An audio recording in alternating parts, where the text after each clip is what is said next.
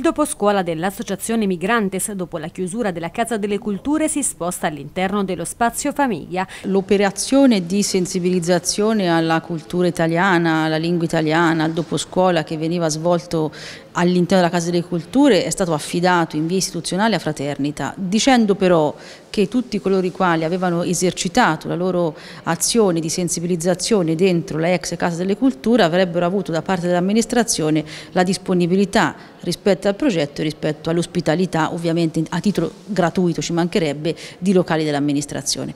Migrantes ha mandato, come altri peraltro, un programma, lo ha fatto però fin da subito e abbiamo trovato una soluzione secondo noi molto positiva allo spazio famiglia. Si tratta di un progetto che durante lo scorso anno scolastico ha accolto 16 studenti. È un servizio di pubblica utilità per eh, ragazzi delle scuole elementari e medie che hanno problemi di disagio scolastico dovuto alle ragioni più diverse e più disparate eh, quindi non soltanto stranieri eh, ma anche italiani che si trovano in questa città da poco tempo e che hanno problemi magari di ambientamento, di ambientamento scolastico. Gli studenti sono stati seguiti da ex maestre, professori, laureati e laureandi in collaborazione con i docenti delle scuole che frequentano. Con dei volontari che danno una mano il pomeriggio nei compiti, ma non soltanto nei compiti ma anche trasmettendo un metodo di studio studio eh, aiutando chi è più indietro con la lingua italiana